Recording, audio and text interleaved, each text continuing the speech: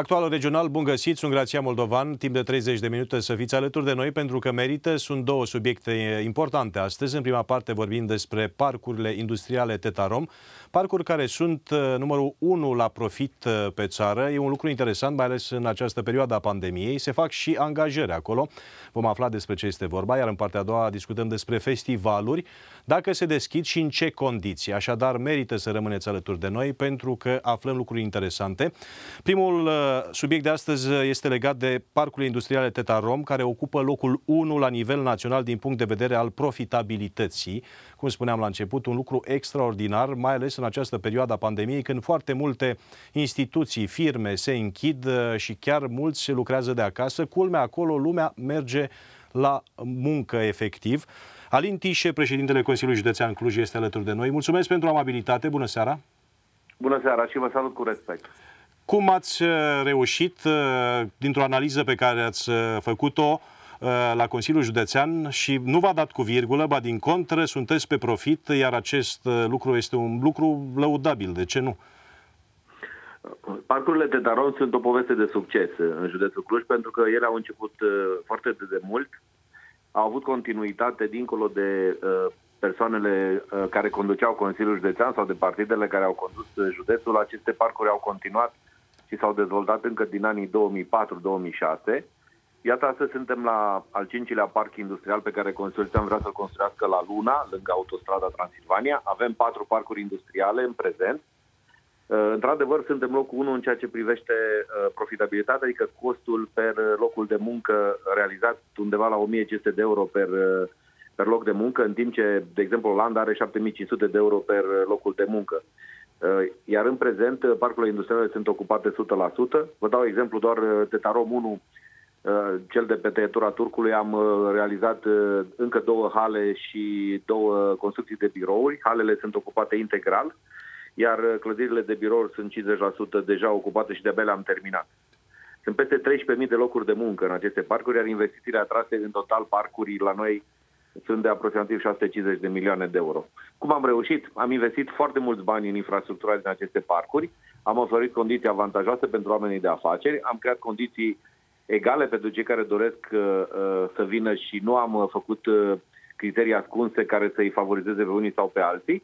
Și, uh, de ce nu, în anumite situații, uh, firmele mari au primit și ajutor de stat, știți prea bine, nu vreau să fac reclamă, au fost multe mari firme și sunt în prezent firme care au primit inclusiv ajutor de stat uh, pe linia Bun, unii au primit ajutor de stat, dar mediul de business în general în România și în Cluj, cu această perioadă pandemică, suferă foarte mult. Aici e secretul pe care aș vrea să-l aflu de la dumneavoastră. Cum de acolo lucrurile funcționează atât de bine, dincolo de investițiile în infrastructură și condiții uh, corecte, eligibile pentru toți participanții și toți care sunt acolo?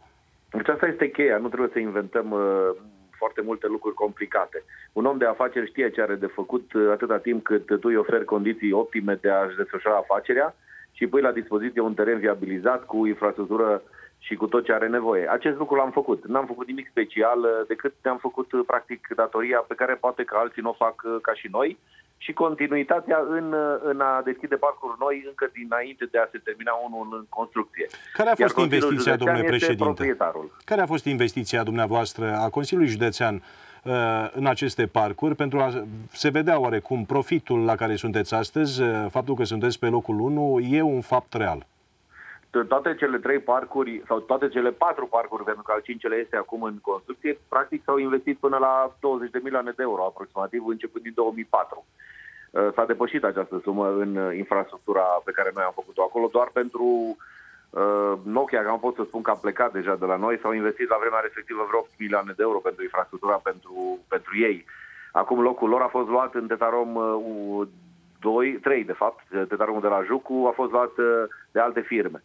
Deci nu există o rețetă mai simplă decât aceea de a face treaba de a investi în infrastructură, de a deschide pentru investitorii posibilitatea de a veni. Ce investitori aveți? Egale. Ce investitori aveți acolo? Sunt uh, români în mare parte sau și investitori străini?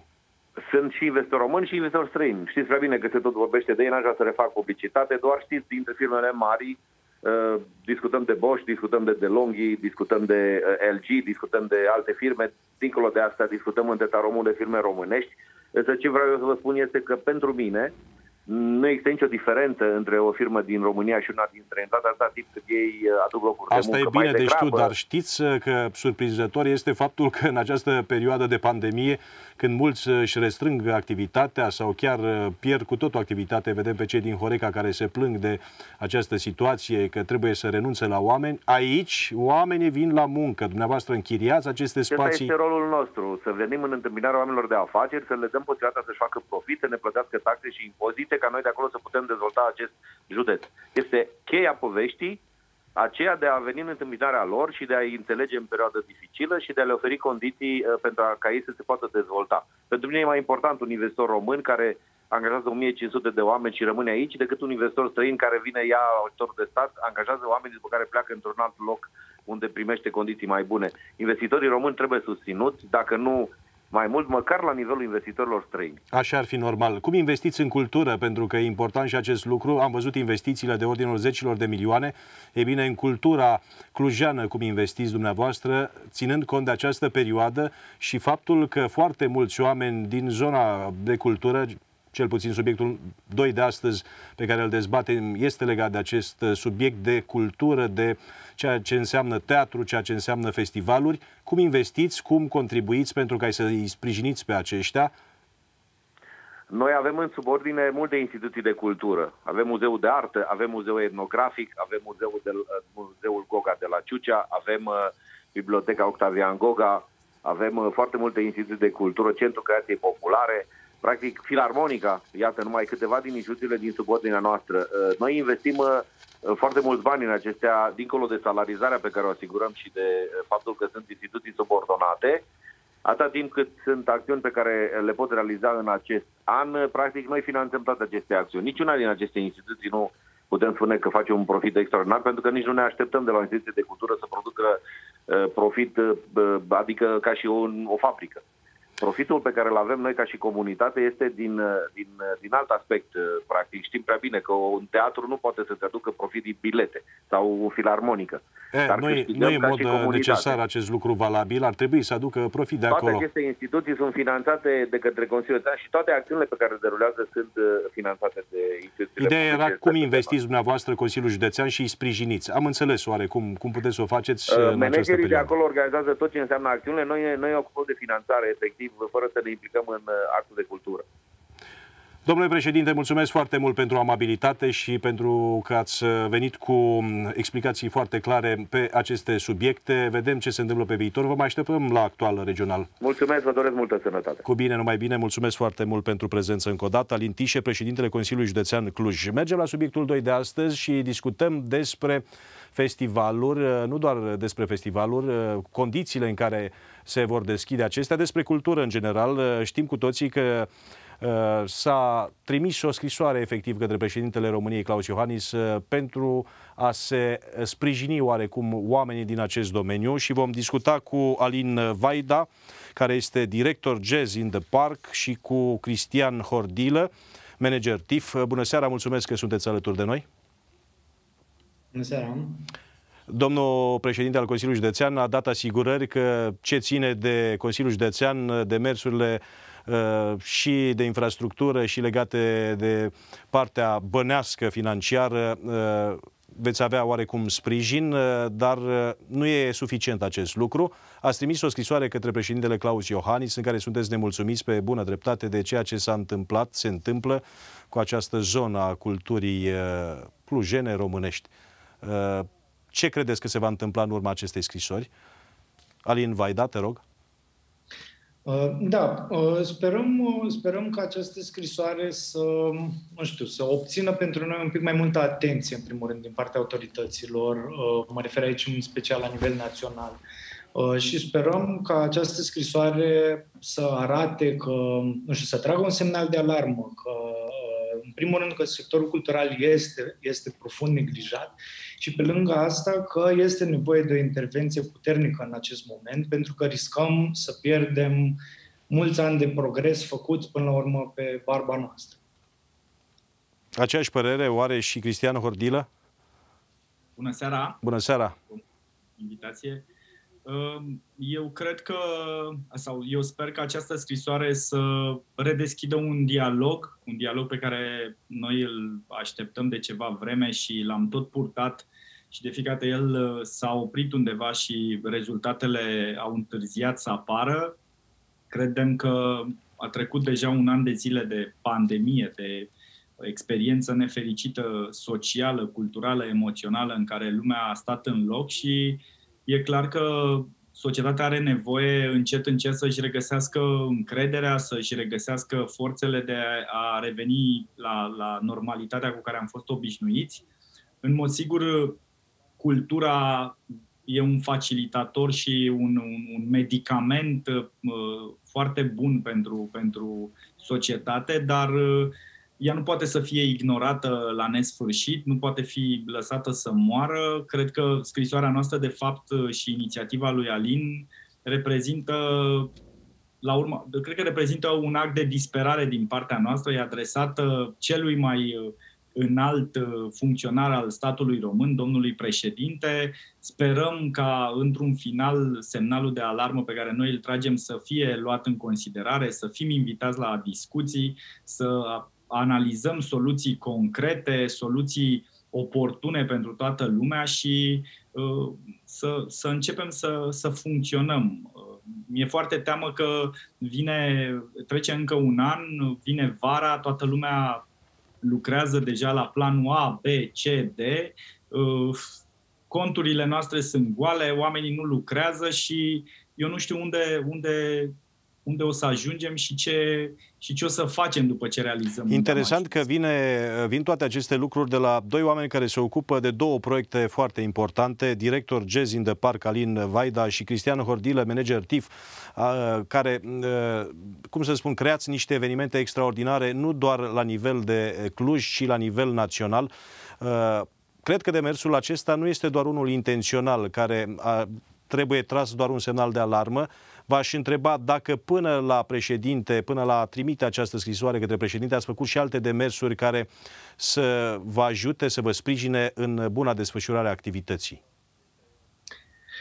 Uh, sigur că da, am făcut uh, demersuri facem de foarte mult timp uh, și până la urmă, da, cum zicea și, cum zicea și Cristi, uh, ca faptul că am ajuns să scriem o scrisoare adresată administrației prezidențiale e un gest uh, așa cum să zicem, ultima speranță. Sunt, uh, și să, aș vrea să specific că atunci când vorbim de sectorul cultural, uh, nu vorbim doar de evenimente și nu vorbim doar de festivaluri, uh, dar sectorul cultural, încă de la debutul acestei pandemii în, în România, a fost alături de autoritățile din România. Pe de o parte, preluând mesajul de încurajare să se respecte regulile de, de uh, distanțare, uh, pe de altă parte, cu gesturi concrete uh, de a susține autoritățile, de a susține, susține sistemul medical tocmai și noi am înțeles, am înțeles situația în care suntem uh, și am încercat să ajutăm cu toții să trecem mai bine peste. Iar apoi am început uh, numeroase discuții cu autoritățile la nivel național, cu guvernul practic, dar pe mai multe fronturi. Adică există uh, festival, există o asociație în care sunt grupate festivalurile și organizatorii de concerte, există asociații în care sunt grupați artiști, există asociații Bun, și care în care este nemulțumirea concret? Concret. Care ar fi nemulțumirea din moment ce concretă. există niște discuții prealabile cu autoritățile centrale sau cele județene? Ideea concretă este că suntem mereu amânați și suntem mereu puși pe un, uh, pe un plan secundar. Uh, nu se, uh, se concretizează mult prea puține lucruri. Măsurile luate de la începutul pandemiei și până acum sunt insuficiente pentru a ajuta sectorul să supraviețuiască. Nu să se mențină la nivelul la care era când eram în pandemie, ci să supraviețuim ca organizații, ca afaceri în cultură, etc. Uh, suntem, uh, suntem uh, destul de mult amânați, adică priviți și la schema de ajutor de stat pentru anul 2020. Vorbim de 3 sau, 3 sau 4, dacă nu mă înșel, scheme care au fost puse în dezbatere publică, la care s-a dat feedback, la care nu s-a ținut în totalitate cont de feedback și care au fost mereu schimbate. În continuare, sectorul nu are o schemă de ajutor de stat. De exemplu, din punctul ăsta de vedere, foarte dezavantajat dezavantajate sunt organizațiile non-guvernamentale care activează în sectorul cultural, pentru care încă nu s-a găsit o soluție. Hai să zicem, cei care sunt în mediul business sau cei care desfășoară afaceri în domeniul cultural și de divertisment au putut să aplice la măsura 2. Uh, bineînțeles că ea încă nu s-a plătit în totalitate, dar măcar au putut aplica acolo. Însă sectorul ONG a suferit destul de mult. Marea majoritate a finanțărilor din România s-au suspendat pe perioada pandemiei și vă dați seama... Și acum vorbind la concret de cele două evenimente, uh, Jazz in the Park și, manage, uh, și evenimentul TIF, cum s-ar desfășura aceste evenimente dacă mâine ați primi o veste bună de la președinte sau din partea guvernului. Uh, Cristian Hordilă, te rog. În primul rând, voiam să, să mai adaug la cele spuse de Alin că, în afară de schema de ajutor de stat, uh, schemele de ajutor de stat atât de discutate, dezbătute și, de fapt, uh, în continuare ne, nefuncționale, um, Astăzi noi nu avem un cadru legal și uh, un orizont de timp în care ne-am putea relua activitatea și ne-am putea planifica acțiunile și activitățile.